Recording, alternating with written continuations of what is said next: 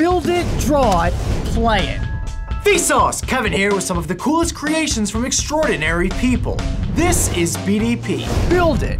Serena Creative made a documentary about Bill Czappa, an artist who uses old electronics to construct unique sculptures. His workshop doubles as a TV repair store, and Bill often uses old TV parts for his found object creations. His erector set piece, comprised of 13 full erector sets, has been a work in progress for the past 20 years. Andre Koronczi blends plastic bags with the environment. The Hungarian artist likes to imagine plastic bags as living, breathing things, and puts together open air installations in which they coexist with nature. Check out his YouTube channel to see them in motion. Ivan Owen has a channel that is a build it dream. He tackles different DIY projects like an ultimate cereal eating machine or a cornstarch flamethrower. Specific ambiguity is filled with creations ranging from an organ backpack and steak knife weed whacker to the latest video in which Ivan and his daughter prank a pizza delivery guy with musical stairs.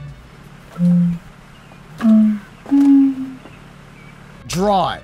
Cristiam Ramos paints famous works of art on butterfly wings. Equipped with a magnifying glass, extremely fine brushes, and oil paint, the Mexican artist carefully crafts his mini masterpieces. He also works in other mediums to create legendary pop culture portraits like Marilyn Monroe out of candy or Robin Williams painted with toothpaste. Hyde G is an engineer who turned an iRobot Roomba into an abstract painter. The robot uses multiple bottles of paint attached to tubes to splash dots and dashes across a canvas. And Hyde G has named the robot Mr. Head. And now for the money art of Stephen Barnwell.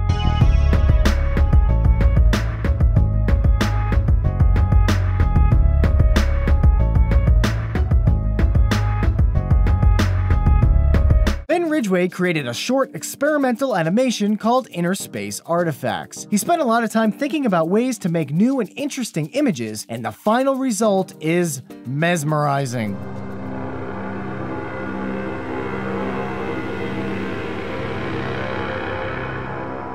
Play it. Finnish bluegrass superstar Steve'n'Seagulls cover Metallica's Seek and Destroy.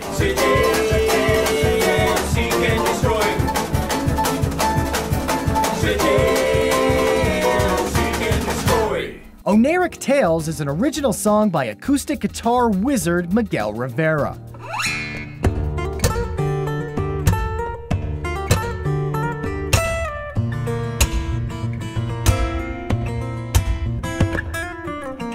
The music video for King by Grades combines animation with live action to bring a bored schoolgirl's daydreams to life.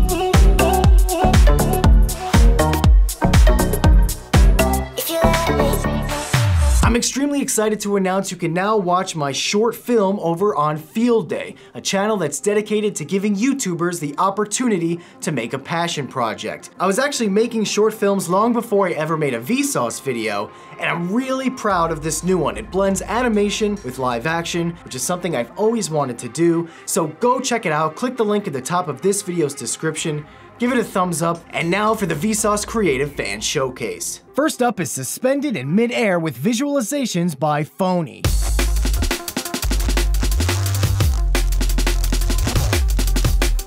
Aidan designed and made a 3D printed simple robotic gripper. It combines flexible and rigid materials connected to a servo motor, and he even made an Instructables page explaining how to make your own. IC Donuts creates incredible cakes like this Ghostbusters Slimer or this White Walker Game of Thrones cake. The body is made of carved cereal bars and the head is sponge cake. Andrew Lightboxes is a DIY master showing you everything from how to make a reversible poker and dinner table table and installing a patio door to bending wood into a rooster. The Nina Haggerty Center for the Arts is just about the best thing. They encourage developmentally disabled adults to make art and even help create animations like The Dentist is Grumpy by Randy and My Four Jobs by Andrew and Kelty. Direct from Lithuania, here's Music Involved with Orange City.